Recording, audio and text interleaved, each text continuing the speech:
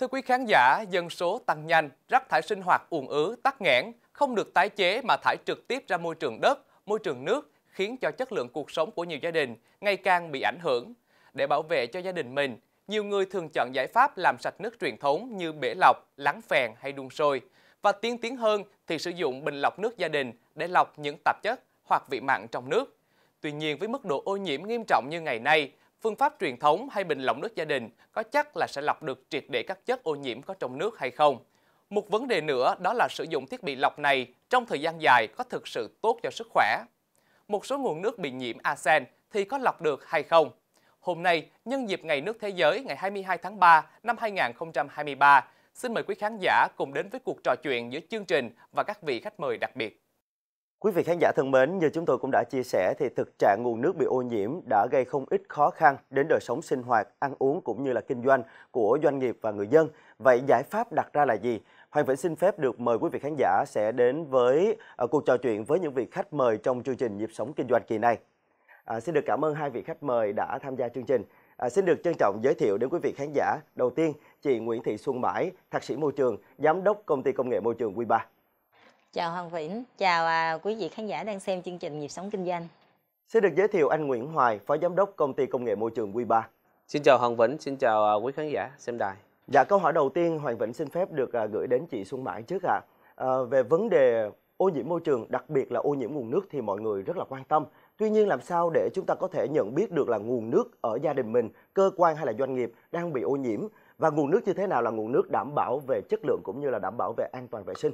Bởi vì Vĩnh thấy rằng là ờ, việc mà nguồn nước bị nhiễm các chất như là à, amoni, arsen, ờ, kim loại nặng hay là các vi khuẩn thì khó nhận biết bằng mắt thường đúng không ạ? Cảm ơn Hoàng Vĩnh. À, sau đây tôi xin chia sẻ cái câu hỏi của Hoàng Vĩnh.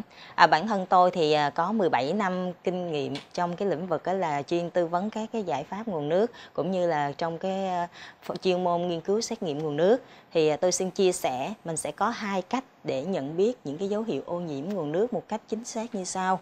À, cách đầu tiên là chúng ta sẽ nhận biết cái ô nhiễm nguồn nước bằng cái cảm quan trực quan của mình. Dạ. À, mình sẽ dùng bằng mắt để mình mắt à, vị à, và mũi miệng để mình à, nhận biết cảm quan à, mình sẽ à, dựa trên những cái à, những cái ảnh hưởng liên quan những thiết bị đồ dùng trong gia đình mà có liên quan tới nguồn nước dạ. ví dụ như mình giặt đồ thì bị ố vàng ha dạ. à, những cái à, vật dụng như là cửa đồ bằng sắt mà khi tiếp xúc với nước thì nó bị hen rỉ dạ. à, à, khi mà mình rửa xe cộ thì cái kính xe của mình nó sẽ bị mờ bị ố dạ. à, và các cái thiết bị toilet các cái vòi nước của mình á trong nhà vệ sinh thì nó sẽ bị vàng nó bị heo hoặc là nó sẽ bị đóng những cái cặn màu trắng nó làm cho tắt tắt hoặc là hư luôn các cái thiết bị vệ sinh yeah. ở bên cạnh đó thì chúng ta sẽ thấy nữa là cái vị nước ví dụ như mình tắm lên thì mình thấy bị ngứa da rát ừ. da hoặc là mình nghe cái mùi nó hôi nó gắt nó khó chịu vị chua vị mặn vị lợ đó thì khi mình gặp những cái dấu hiệu đó thì chắc chắn là nguồn nước của nhà mình nó đang có vấn đề. Dạ vâng. à, tuy nhiên thì đó là một cái phương pháp mà nó gọi là nó dễ dàng nhưng mà nó lại không xác định được cái nồng độ ô nhiễm chính xác. Và đặc biệt nó cũng không thể nào mà nó à, phát hiện được những cái ô nhiễm à, mà khác ví dụ như ô nhiễm kim loại nặng. Dạ. ví dụ nguồn nước mình đang nhiễm chì nhiễm arsen hay nhiễm à, thủy ngân thì mình không thể phát hiện bằng vị mà cũng không thể nhìn bằng mắt được. Dạ, bởi vì nó là vì nó không có à, thay nó không có màu không có mùi. À, ngoài ra rồi nguồn nước mà bị nhiễm kim à, vi khuẩn virus hoặc là thuốc bảo vệ thực vật thì chúng ta cũng không phát hiện bằng mắt được. Và những cái ô nhiễm đó thì nó nó ảnh hưởng đến sức khỏe của mình. Cho nên là cái phương pháp thứ hai là cái phương pháp là mình sẽ xét nghiệm cái uh, mẫu nước có nghĩa là mình sẽ có cái phương pháp xét nghiệm mình đem nguồn nước đến phòng thí nghiệm để mình kiểm tra các cái thông số ô nhiễm để mình biết được những cái hàm lượng ô nhiễm thực tế và mình chọn mình tư vấn mình chọn cái giải pháp mà loại bỏ những cái ô nhiễm ra nguồn nước nó tốt nhất Dạ vâng, xin được cảm ơn chị Xuân Mã rất nhiều. Vậy thì quay lại với câu chuyện ban đầu là không biết cái cơ duyên nào đã đưa chị đến quyết định là thành lập công ty Quy3, một công ty chuyên ờ, cung cấp những cái giải pháp để xử lý nguồn nước bị ô nhiễm à? Tôi thì bản thân của tôi là may mắn là tôi được à, học và đào tạo cái chuyên môn của mình và sau đó thì tôi được có một cái may mắn nữa là tôi được làm việc trong cái lĩnh vực là nghiên cứu và xử lý các cái nguồn nước thải nguy hại dạ. trong suốt 5 năm qua à, và cũng chính vì đó thì nó đã thôi thúc cho tôi là tôi muốn tiếp tục cái đam mê của mình và tôi đã chính thức à, à, thành lập cái doanh nghiệp riêng của mình là công ty công nghệ môi trường Quy3. Dạ xin được cảm ơn chị Mãi rất là nhiều ạ. À. Vậy anh Hoài thân mến, à, Hoàng Vĩnh nhận thấy rằng là các hộ gia đình của chúng ta ngày càng quan tâm đến cái nước sinh hoạt bằng cái biện pháp là lọc nước trước khi sử, sử dụng à, với những phương pháp như là lắng phèn hay là dùng bể lọc À, vậy thì những cái phương pháp này nó có những cái ưu nhược điểm gì? Bởi vì Vĩnh biết rằng là mỗi loại nước sẽ có những cái phương pháp lọc khác nhau đúng không ạ? À, thật sự là Hồng Vĩnh nói rất là đúng. Bởi vì mỗi nguồn nước ô nhiễm khác nhau phải có cái giải pháp và có cái nguyên liệu xử lý dạ. khác nhau thì nó mới phát huy được cái tác dụng và cái hiệu quả của hệ thống lọc. Thì đối với cái hệ thống mà lọc tại địa phương thì cái kết quả nó sẽ không đạt như mong muốn. Ví dụ như phèn thì nó không thể nào dùng cát sỏi là lọc được. Dạ hoặc là vôi bị độ cứng thì không thể nào dùng cát sỏi để lọc được cho nên phải có những cái giải pháp phù hợp hoặc là pH à, nó có rất nhiều vấn đề để mà trao đổi ở đây ví dụ như là nguồn nước ở ờ, Đồng Nai. Dạ. ở Vĩnh Cửu Đồng Nai là đang bị nhiễm vôi. Dạ. À, dân gian hay gọi là bị phèn phèn vôi á. Dạ. thì uh, trong khoa học người ta gọi là độ cứng thì khi đó không thể nào dùng cát sỏi than mà có thể lọc được thì chúng ta phải dùng một cái nguyên liệu là resin hạt nó là hạt resin dạ. hạt này có tính chất là trao đổi ông là trao đổi magie và canxi để trở thành natri trao đổi trong cái nguồn nước đó dạ. Thì nó làm cho nước mềm đi và nó không còn độ cứng nữa Vâng, xin được cảm ơn những chia sẻ của anh Hoài rất là nhiều và Vĩnh nhận thấy rằng là mùa hè thì đang đến rất là gần và cái nhu cầu mà người dân sử dụng nước đóng bình, đóng chai hay là nước sạch để uống đi thì sẽ chắc chắn cái nhu cầu này rất là cao. Vậy thì anh cảm thấy cũng như là anh có nhận định như thế nào về cái cơ hội và tiềm năng trong cái việc lĩnh vực là sản xuất cái nước đóng bình đóng chai ạ?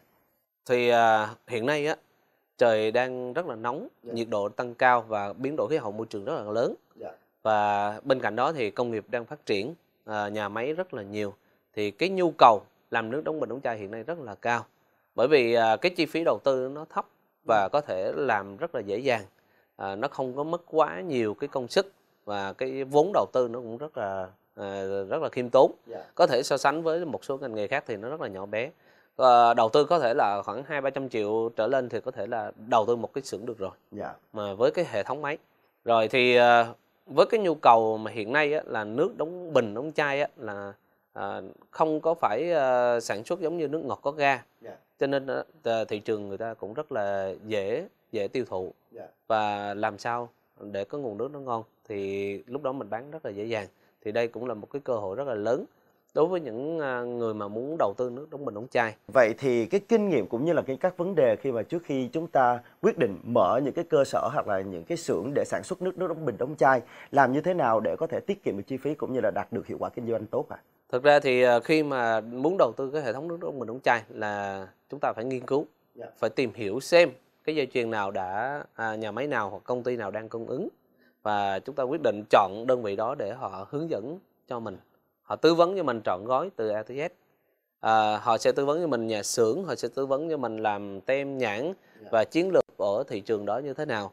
Ví dụ như muốn bán trong một huyện hoặc là trong ba xã thì chúng ta phải cần làm cái công suất khoảng bao nhiêu để chúng ta có thể đầu tư một cái khoản chi phí phù hợp thôi không có thể đầu tư quá lớn thì nó sẽ tốn cái ngân sách đầu tư. Và nếu mà chúng ta đầu tư mà mình đang có cái thị trường lớn như thế mà chúng ta đầu tư nhỏ thì nó lại không đáp ứng đủ cái, cái nhu cầu của thị trường. Theo bạn phải được biết thì Q3 là một công ty tiên phong trong việc sử dụng những nguyên liệu sạch để có thể xử lý nguồn nước, chuyên cung cấp những cái giải pháp về xử lý các nguồn nước như nước cấp, nước mặt hay là các nước giếng bị ô nhiễm không chỉ ở Việt Nam mà còn các nước Lào và Campuchia nữa. Vậy thì chị có thể chia sẻ những cái hoạt động cộng đồng sẽ góp phần à, thúc đẩy cho xã hội Việt Nam phát triển hơn cũng như là những dự định à, phát triển sắp tới của bên à, quy mô của hoạt động kinh doanh của bên mình ạ. À à, mong muốn của chúng tôi là đem đến cho khách hàng thì à, à, chúng tôi rất là quan tâm trong cái việc là mình sẽ lựa chọn cái nguyên liệu xanh thân thiện với môi trường trong cái việc là sản xuất các cái lõi lọc để mà nó phục vụ để mà nó đem lại cái à, cái mức an toàn nhất đến cái người tiêu dùng khi mà người ta sử dụng sản phẩm của mình. Yeah. Dạ. Um, bên cạnh đó thì hiện nay thì với cái nguồn nước ô nhiễm mỗi ngày nó một tăng rất là nhanh. Thì à, chúng tôi à, để mà đáp ứng được cái nhu cầu hiện tại và kiểm tra được những cái ô nhiễm mà nó một cách chính xác nhất thì chúng tôi có mở rộng và có liên kết với một cái trung tâm phân tích thí nghiệm à, thì ở với cái quy mô là có rất nhiều máy móc và ừ, xét nghiệm phân tích hiện đại và đầy đủ. Và tất cả hệ thống của chúng tôi là đạt cái chứng nhận ISO và VLAT để mà đem lại cái kết quả chính xác nhất, cũng như là mình sẽ có được cái giải pháp mà mình tư vấn chính xác nhất đến cái người ờ, à, đến cái đến cái khách hàng của mình. Dạ vâng, à, thông qua cuộc trò chuyện với uh, chị Xuân Mãi và anh Nguyễn Hoài, à, chắc chắn quý vị khán giả cũng đã có thêm những cái kinh nghiệm để giúp chúng ta có thể phân biệt được nguồn nước bị ô nhiễm cũng như là lựa chọn phương pháp hệ thống lọc à, tốt nhất cho gia đình và bản thân của mình. À, cũng như là các hộ kinh doanh đang có nhu cầu mở những cái xưởng sản xuất thì chúng ta lựa chọn những cái đơn vị uy tín để giúp ta đồng hành. À, một lần nữa xin được cảm ơn uh, chị Xuân Mãi và anh Nguyễn Hoài đã tham gia chương trình nhịp sống kinh doanh kỳ này. Xin được cảm ơn hai anh chị rất nhiều ạ. Xin cảm ơn Hồng Vĩnh, xin cảm ơn à, quý khán giả nghe lại. À, cảm ơn Hoàng Vĩnh, cảm ơn à, chương trình.